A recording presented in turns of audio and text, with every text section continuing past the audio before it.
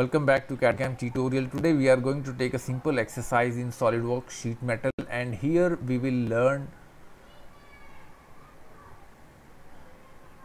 some basic tools of sheet metal like how to use Louver tool, how to use design library and create this kinds of forming to tools, uh, use forming tools and you will see some, we will use some sheet metal tools also here. And at the end we will export this file in 2d format. I hope you like it. So let's now here we are going to take a simple exercise in solidworks sheet metal. So let's open file new and let me choose here part. Okay and now we entered in solidworks interface. Now background i'll keep plain white you need just click here and you will find millimeter inches whatever you like to keep. We will try millimeters okay? Now if you don't find sheet metal tab here just right click and you will see sheet metal okay? Base flange. It will ask you which plane you like to use for the sketch. So let's try front plane. In sketch here i will try rectangle center rectangle okay. Now dimension.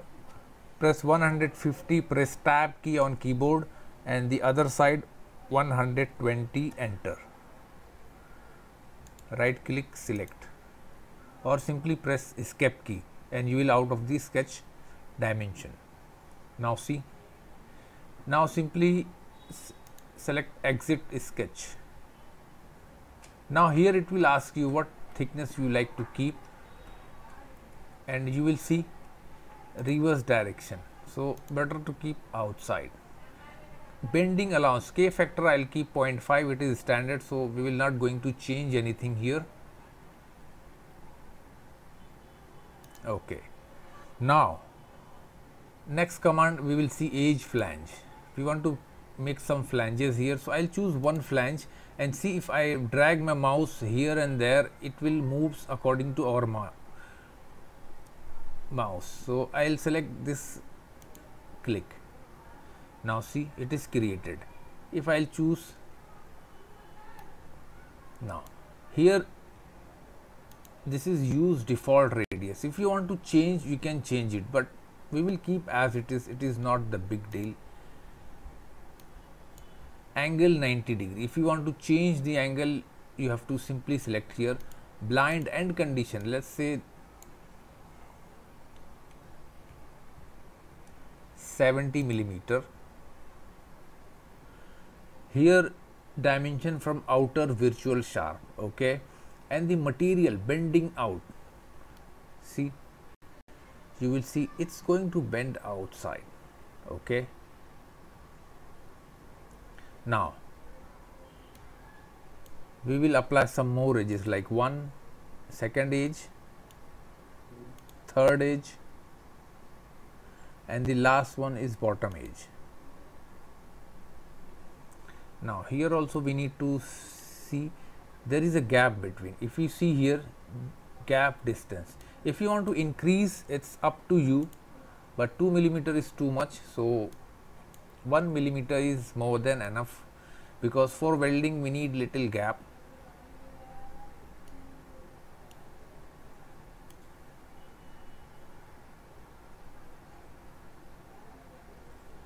now let's try we will add some more flanges. Click and go downward direction okay? Now if I choose this one other side see it will automatically took the shape. Third edge and the last one. Look everything is same gap we will keep 1 millimeter angle 90 degree and blind end condition. End condition we will say 15 millimeter. Bending material outside.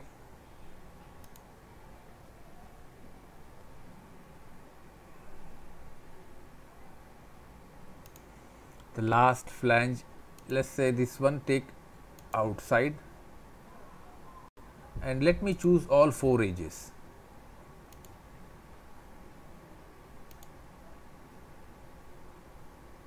gap I'll keep 1 millimeter angle 90 degree come down blind end condition 10 millimeter. And rest is same like material outside distance from outer side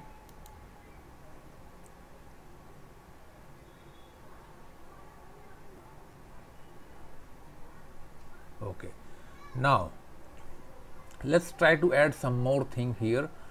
So just click design library. If you open design library you will find too many things are here especially forming tools. If you open forming tools you will find one option louver. This is standard louver added in your geometry. Simply drag and click here.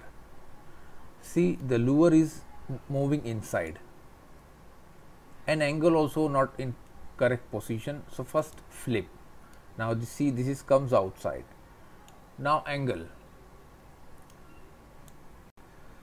90 it is moving up upside but we want to keep downside. Okay let's keep uh, actually it's supposed to be 270 degree see position smart dimension let's try distance from here to here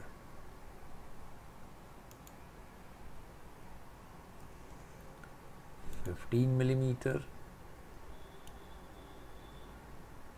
Now here from outer edge it's 37 millimeter because overall length is now it is in the center of the wall. So simply say ok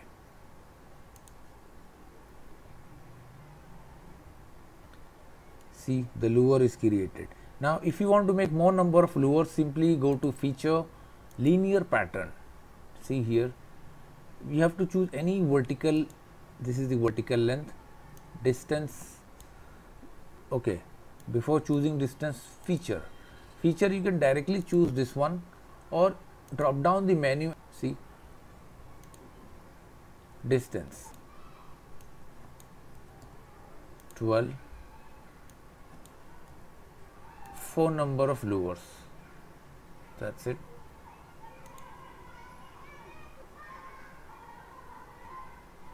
Okay that's finished. Now let's add some vent. We will use venturi command and click sketch. Let me add some dimensions here. 40 enter. 10 enter. And this third one is 25 enter. Line. And let me connect line from here to this point. Press escape T to out. Again press press L key on keyboard. And you will get the command escape smart dimension. Distance from outer edge 45 millimeter. Distance from outer edge 37 millimeter. Because this is the center of the body. Now see drawings are fully defined now let's try to search Venturi command. Go to insert. Here you will find one option. Feature sorry fastening feature. Here you will find one option vent Venturi tool. Now first you have to choose boundary. So I'll select outer circle. Now see the whole body is deleted. Now face already selected we don't need to put any dimensions or anything. I'll show you. Now area is already calculated ribs. So I'll choose 1 2 these two ribs we selected. Here 2 millimeter we will keep thickness. Now come down spur. This one 2 millimeter okay now the fill in boundary if I'll choose this inside circle see it will fill whole things. Now see 2 millimeter by default it's selected. If we choose here radius or something like 0.5 see all the edges become have radius 0.5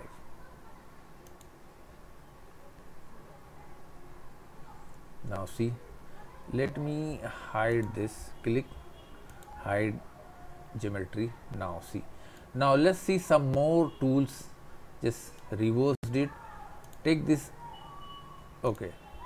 Go to design library emboss tool. Here we have predefined or added tools. So countersink emboss. I'll drag and put here. Now it is inside. Okay. Position because we don't need to uh, put any more dimensions from here to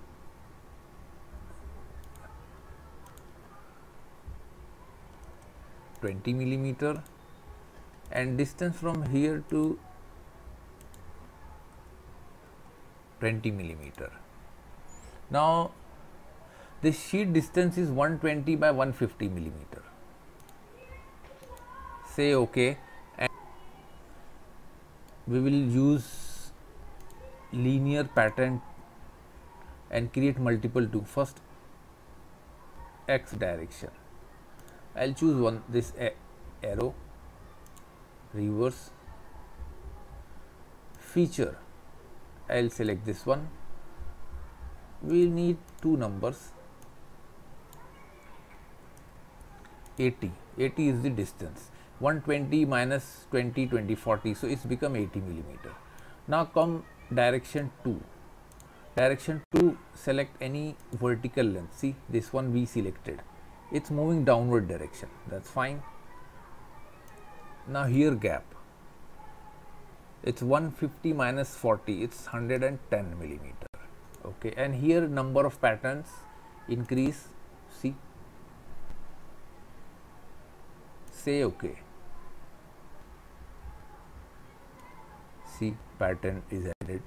Now if you want to add some more things like uh, any kind of geometry here one option sheet metal. You will see multiple number of patterns are here. Any patterns you can simply drag and drop here and put at the center. Now here you will get some option for customization now here's the override dimensions let's say 14 okay this one is keep as it is. This is also radius. Let's say this one 5 this one also radius. This one let's say 20 now see this is a kind of keyhole so this is the simple tutorial how to use design library and we created multiple number of uh, feature tools like louver then let me drive directly edit appearance from here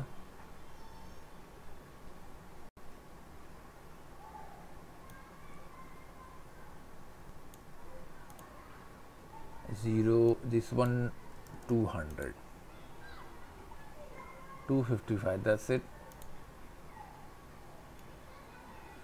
Now if you go to sheet metal and you will select flatten if you choose flatten it will gives you flat pattern.